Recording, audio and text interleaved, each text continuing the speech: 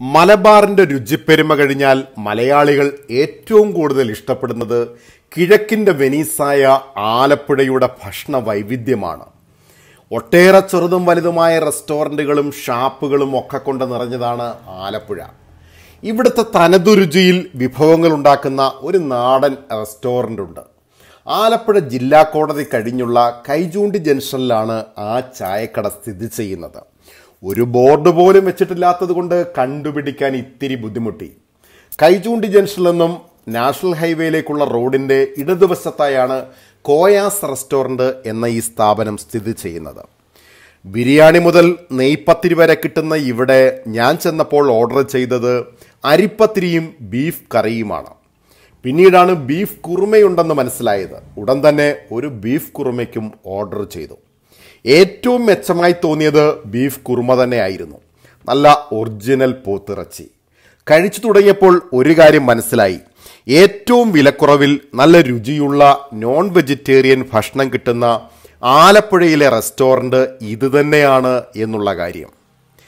കാൽ നൂറ്റാണ്ടിലധികമായി ഈ റെസ്റ്റോറന്റ് ഇവിടെ പ്രവർത്തിക്കുന്നുണ്ട്. ഒരു ദിവസം ആയിരം പൊറോട്ടയിലധികം ചെലവാകുന്ന ഇവിടെ ചുരുങ്ങിയത് നാൽപ്പത് കിലോയുടെ ഇറച്ചി വിഭവങ്ങളും വിൽക്കാറുണ്ട്. ബീഫ് ചാപ്സും ബീഫ് ഫ്രൈയും ബീഫ് കുറുമയുമാണ് ഇവിടെ ഏറ്റവും കൂടുതൽ ആൾക്കാർ തേടിയെത്തുന്ന വിഭവങ്ങൾ.